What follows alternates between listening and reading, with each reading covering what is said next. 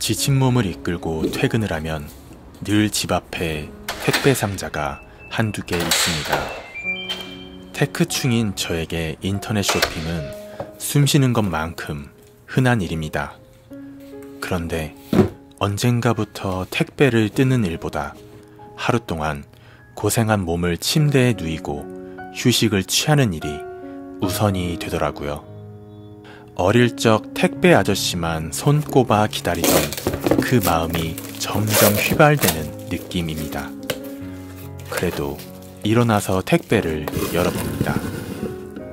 저에게 가장 큰 행복을 주는 물건이 드디어 도착했습니다. 바로 아이폰 13 프로.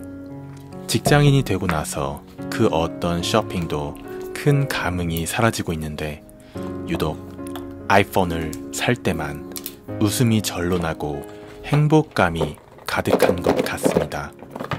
신나게 흔들어주면 기다리고 기다리던 아이폰 13 프로 시에라 블루 색상이 등장합니다.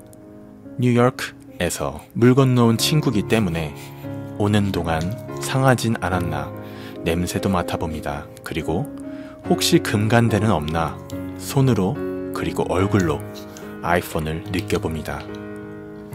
마지막으로 정면에 있는 종이를 제거하고 나면 이제 이 아이는 제 것이 됩니다. Welcome to Korea. 아이폰 기기 하나, 라이트닝 케이블 하나, 그리고 애플 스티커가 들어 있습니다.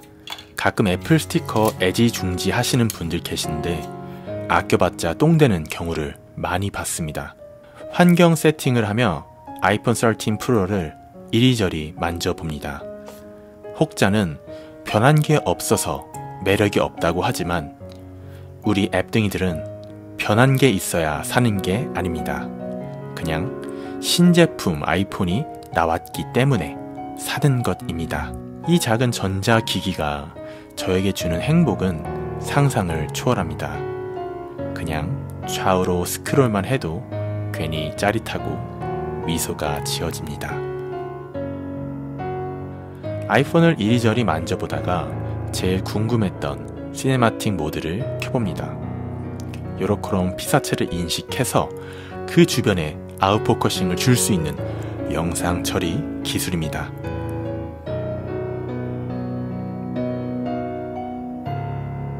이렇게 아이폰으로 보니 뭐가 다른지 잘 모르겠으나 리뷰 영상에서 한번 상세히 다뤄보도록 하겠습니다.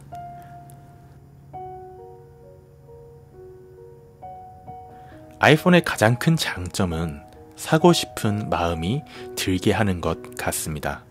그리고 그 어떤 쇼핑을 해도 행복하지 않은 불감증이 걸린 현대 사회의 여러분께도 이 작은 친구는 똑같이 행복을 주고 있을 것이라 생각합니다.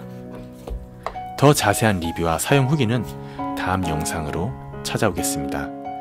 시청해 주셔서 감사합니다.